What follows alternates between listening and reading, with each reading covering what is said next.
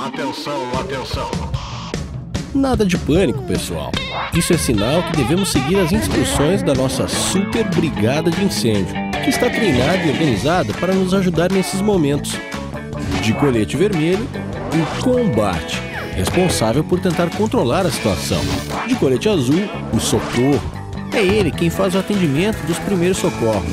De colete verde, o sinalizador. Ele vai indicar a saída segura para todos nós. De colete amarelo, o subchefe, responsável pela revisão das áreas e avisar a equipe a hora de abandonar o setor.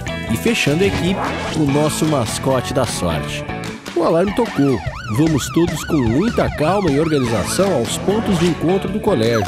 Não devemos trancar portas com chave nem levar objetos como bolsas e pastas. Importante, em casos de incêndio não podemos usar o elevador, tá? Ah, e sem correr nas escadas, ok? No Farroupilha Unidade Três Figueiras, vamos todos para o campão. Na educação infantil, vamos para a área da Figueira, atrás do prédio. Na unidade Correia Lima, o ponto de encontro é no pátio do quartel. E na sede campestre, vamos todos para as quadras. Pronto, se seguirmos estas instruções em casos de emergência, a chance de dar tudo certo é ainda maior. É fundamental mantermos a calma e a organização. O pânico é o nosso maior inimigo. Não esqueça destas instruções e qualquer dúvida, procure o pessoal da Brigada de Incêndio.